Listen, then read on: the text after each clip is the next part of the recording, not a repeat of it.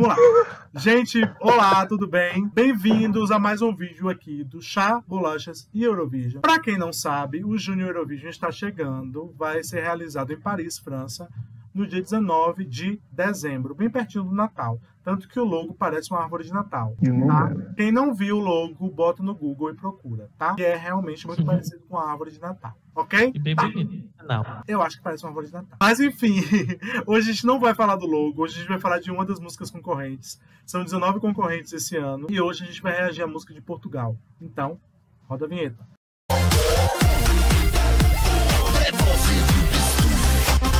Bom, esse ano, Portugal, eles escolheram o Simão Oliveira, que foi o vencedor do The Voice Portugal e ganhou o direito de representar Portugal no Junior Eurovision de 2021.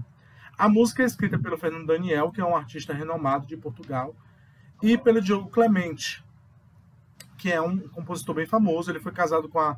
Ele foi namorado da Carminho e casou com a Carolina Deslandes, então ele é bem famoso e tal. E é um, um, um, um excelente musicista e, e, e, eu tô com grandes expectativas para essa música. Alex, você gosta do Junior Eurovision? Eu gosto, não acompanho faz muito tempo. Eu comecei a acompanhar o Junior Eurovision em 2016, que aconteceu em Malta.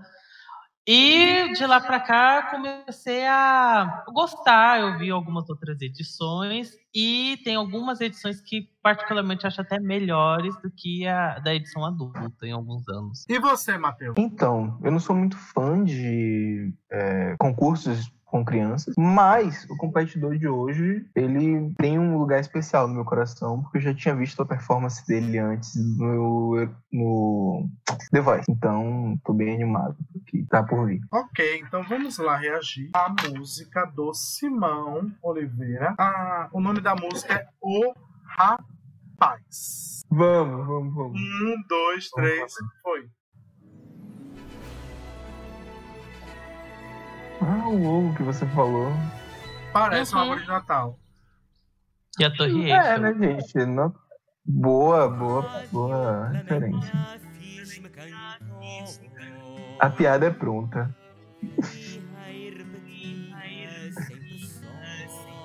A voz dele é boa. Demais. Ele, ele é fantástico. Ele.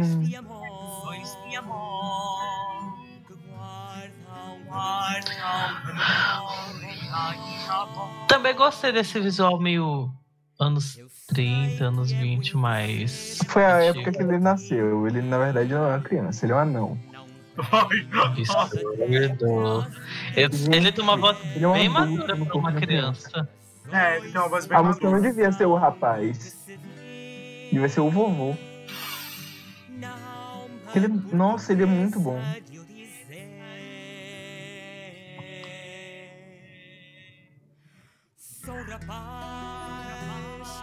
Eu gostei muito desse refrão.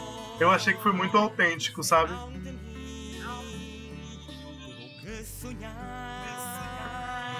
O arranjo tá divino, né? O instrumento é lindo.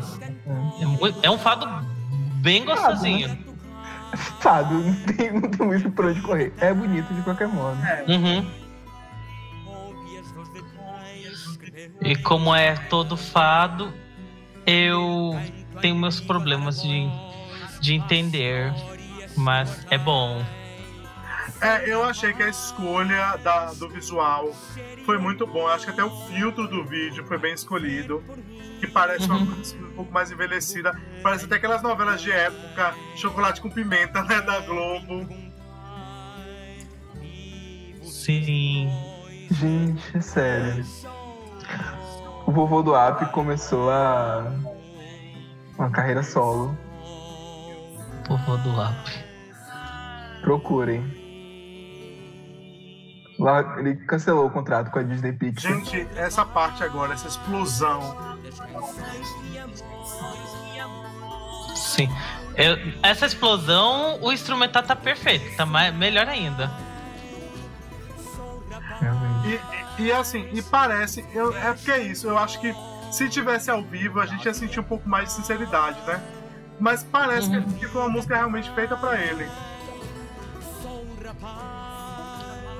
ainda acho essa música um pouco adulta para o Junior Eurovision, mas isso não é um problema, porque tem muita música mais adulta que eu gosto também do Jeff. É, e que ganha, né? Às vezes ganha uma música mais adulta, né? Uhum. Eu Uma acho que ele sonoridade tem, mais adulta. Ele tem estrutura para, sabe? Ele, ele pode. É, Eu dou esse, esse, esse passe, sabe? Eu acho que ele pode. Não tem, ele pode competir num concurso de criança com qualquer música, porque com certeza ele entrega. É talento, é talento, é talento, É Talento. talento que chama. talento. Alex, o que, que você Uhum. achou? Bem, é uma das melhores músicas de Portugal do Junior Eurovision em um bom tempo, porque ah, desde 2017 eu tenho uns problemas com Porto, as músicas de Portugal, porque as letras. ahn, enfim, as pessoas entendem como são as letras, né? Gosta de tudo, já não gosta de nada, eu quero ser youtuber, etc, etc. Mas essa daí instrumental é maravilhoso, a voz dele é muito boa.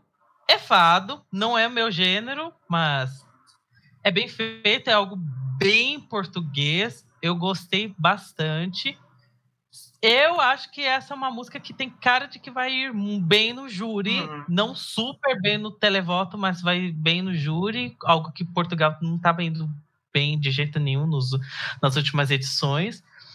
Eu espero que o Simão Oliveira tenha um excelente resultado e torcida, torcida, por favor, vai Portugal. Uhum. Matheus. Então, eu, eu sou bem suspeito pra falar, porque eu gosto muito dele. É, mas eu acho que eu concordo com o Alex, de que é, é uma música que não parece de início assim com Portugal. A gente, assim, eu comparo muito com o Festival da Canção do ano passado, que a gente esperava, a gente tinha grandes nomes de fado e não foi fado a escolha para, né? Inclusive Valéria Injustiçada. Mas Matheus não supera isso. Ele não supera a superei. Valéria.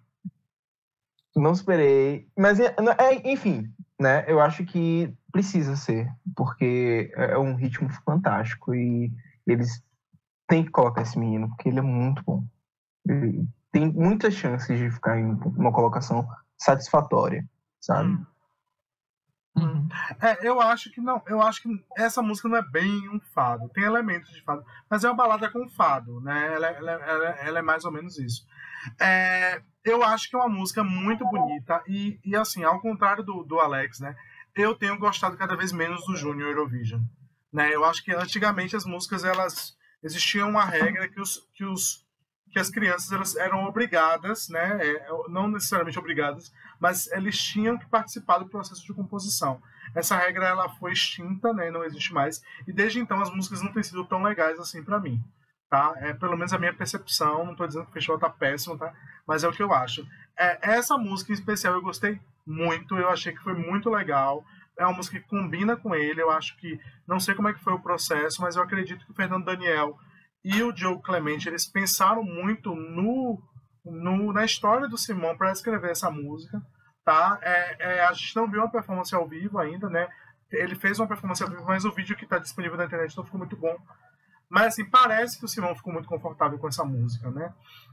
E, e assim, o- é, essa questão que o Alex falou, né, do público, é, a votação do público do Júnior é um pouco estranha, né? Porque é a internet. É, feito pela- é votação online. é É votação online. né? Não é aquela coisa que é- porque eu acho que quando é televoto a gente tem um pouco mais de credibilidade e, e os resultados acabam sendo um pouco mais do que a gente esperava, né?